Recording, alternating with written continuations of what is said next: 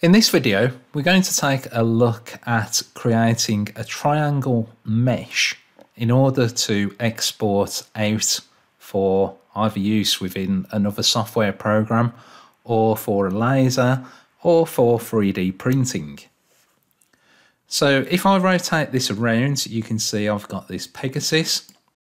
And in order to triangulate this, what we need to do is go to the relief drop down and create a triangle mesh. So if I select that, and under the options, you have a tolerance setting. You can also choose an open mesh or close with a flat plane. So what I'm going to do is do this, let's say 0.1 inch at the moment, and then create. So it's a little bit faster to generate. Now this does take a little while to generate. I'm just going to speed it up for the purpose of this video.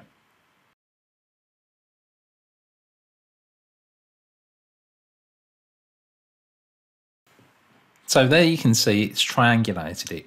Now don't worry about all of these triangles, that's because the tolerance is quite high. So if I zoom in and rotate around, what I want to show you is the bottom of it is flat.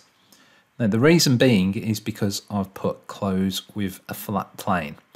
If I selected open mesh, then what I would get would be if I close this and turn off the zero plane, I would literally get exactly what I have there. Okay, so it doesn't have a base on the bottom of it. So if I do this again and set the tolerance to be quite low now, and I'll show you how to save it. So if I go to relief, create triangle mesh, and let's do this at, let's say a thou, and I'll close with a flat plane.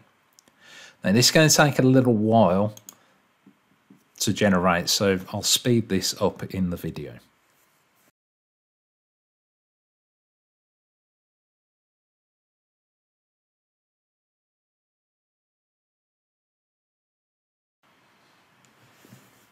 Okay, so when it's turned blue, that means that it's generated the mesh. And you can see that this is a lot better quality than what we had previously with a 0.1 tolerance.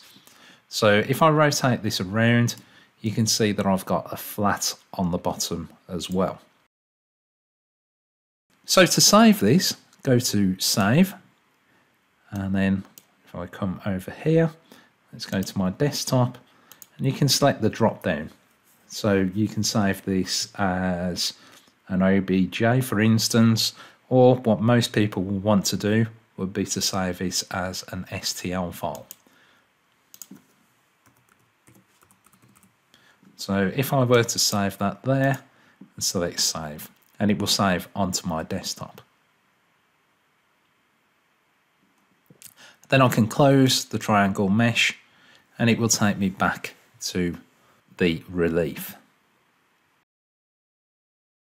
So just to see if this has worked or not, let's turn on the zero plane and I'm going to reset the relief so I haven't got anything.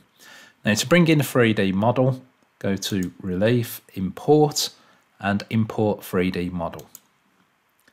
And then let's go to the desktop and you can see that I've got this Pegasus. So I'll select open and it will open up this model for me. Now, I'm not going to go into the details of the 3D import dialog box. I just want to literally see whether this has worked.